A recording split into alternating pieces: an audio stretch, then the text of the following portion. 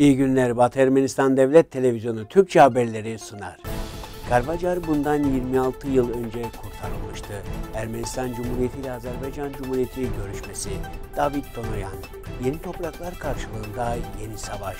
Lavrov, Kuzeydoğu Suriye'deki durumun nasıl çözülmesi gerektiğini söyledi. İnkarcı Maxim Goin reddedildi. Atina'da Komitas Bartabet ve Hovanet Manyan adanmış bir gece.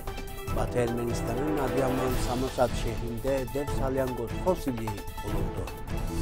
Ermeni kuvvetleri Karvacar'ın Kurtuluş Hareketi'ni 27 Mart 1993 tarihinde başlattı. Kurtuluş Savaşçıları Armenak Abrahamyan, Hovsep Hovsepyan, Volodya Avedisyan, Sarkis Karabetyan, Misha Tadevosyan, Yosef Nersesyan, Viken Abrahamyan ile diğerleri sayesinde Karvacar 1 Nisan'da kurtarıldı.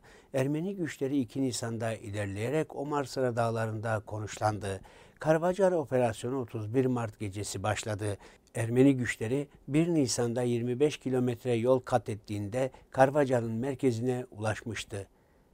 İki askeri nokta ele geçirildi. İlki sabah saat 7'de, ikincisi ise saat 10.30 sularında. Karvacar'ın kurtarılması Ermenistan Cumhuriyeti ve Artsak'ın kuzey ve kuzeydoğu sınırlarının güvenliğinin sağlanması açısından çok önemliydi. Karvacar Ermeni tarafı için stratejik bir noktaydı. Kurtarılmasıyla Ermenistan Cumhuriyeti ile Dağlık Karabağ Arsak Cumhuriyeti arasında istikrarlı bağ kurulmuş, böylece Mardagirt bölgesinin arka cephesi de korunmuş oldu. Levon Minasyan 2013 yılında Karvacar'ın kurtuluşunu kapsamlı bir sunumla Karvacar Onur Borcumuz adlı eseri yazdı. Ermenistan Cumhuriyeti Başbakanı Nikol Paşinyan ile Azerbaycan Cumhurbaşkanı İlham Aliyev, Agitmis grubu eş başkanlarının girişimiyle Viyana'da bir araya geldi.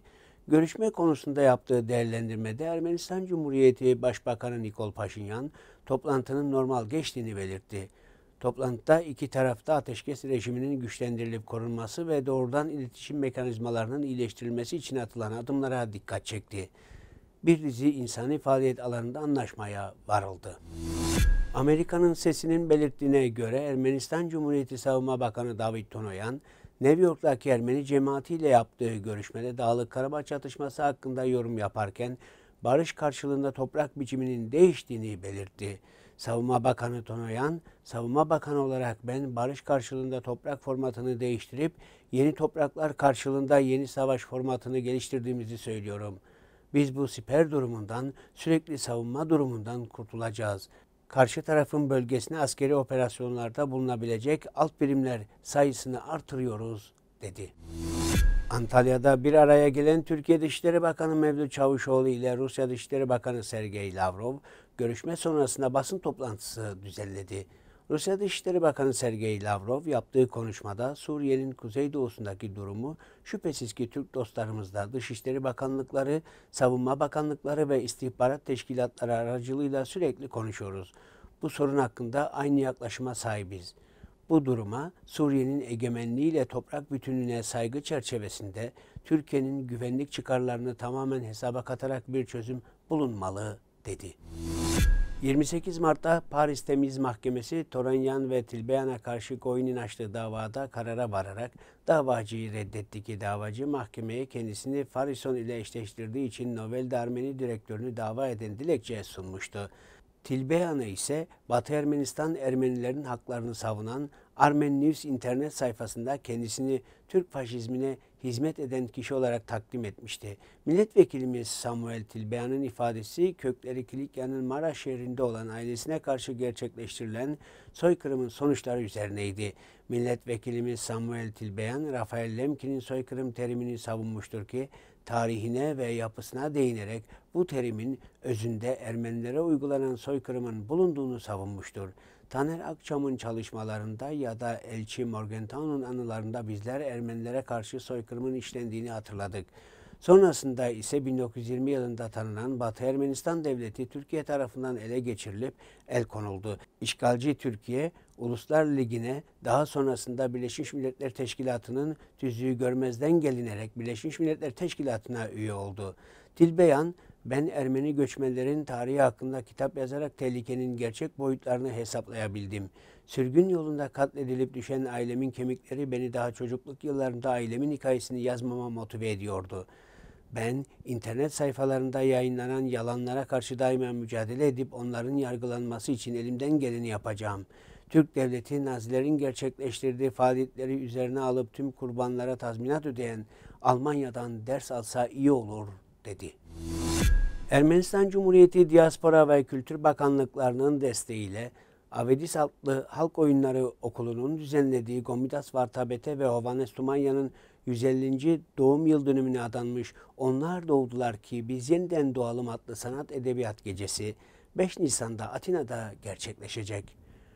Bugün Ermeniler adlı Ermenistan Cumhuriyeti Diaspora Bakanlığı'na bağlı dergiden edinilen bilgiye göre Hovannes Tumanyan, Müzesi Müdür Vekili Ani Yazaryan ile interaktif kukla performansları sergileyen Ani Amseyan gibi özel davetliler de etkinlikte hazır bulunacak. Avidis adlı halk oyunları okulunun 2013 yılında Atina'da kurulduğunu ilave edelim.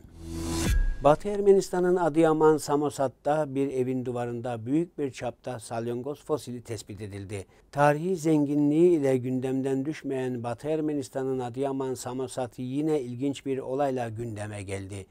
Gölbaşı ilçesi Çelik köyünde bir evin duvarında 65 milyon yıllık dev salyangoz fosili bulundu. Adıyaman Müzesi'nde sergilenen salyangoz fosilinin medyada haber olarak yer almasının ardından Mehmet Çetiner isimli vatandaş kendi evinin duvarında da aynı şekilde bir taşın olduğuyla ilgili Adıyaman Müzesi'ne bilgi verdi. Müze yetkilileri bu ihbar üzerine belirtilen eve giderek duvardaki salyangoz fosilini inceledi. Salyangoz fosilinin 65 milyon yıllık olduğu tahmin ediliyor. Adıyaman Müze Müdür Vekili Mehmet Alkan konuyla ilgili yaptığı açıklamada şunları söyledi. Asur kaynaklarında nehir kenarındaki kent olarak geçen Gölbaşı ilçesindeyiz. 15 gün önce Adıyaman Müzesi'nde sergilenen salyangoz fosiliyle ilgili medyadaki haberler üzerine Gölbaşı ilçesinde bulunan Mehmet Çetiner adlı şahıs bizi arayarak evinin temelinde Adıyaman Müzesi'ndeki fosile benzer bir fosilin olduğunu söyledi. Bugün için bu kadarını öngördük. Şimdi size Ermenistan Cumhuriyeti Devlet Ozan ve Halk Şarkıları topluluğunu sunuyoruz.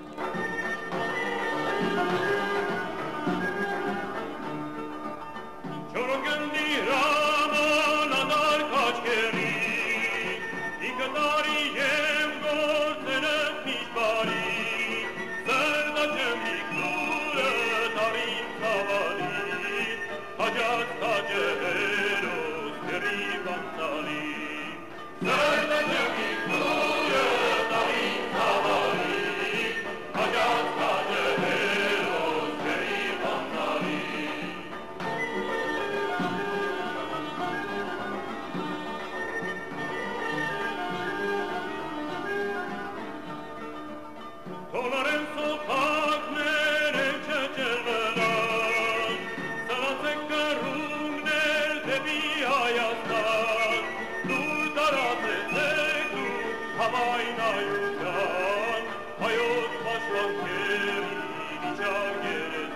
Eserin tamamını Batı Ermenistan Devlet Televizyonu'nun resmi sitesinden izleyebilirsiniz. Hoşçakalın.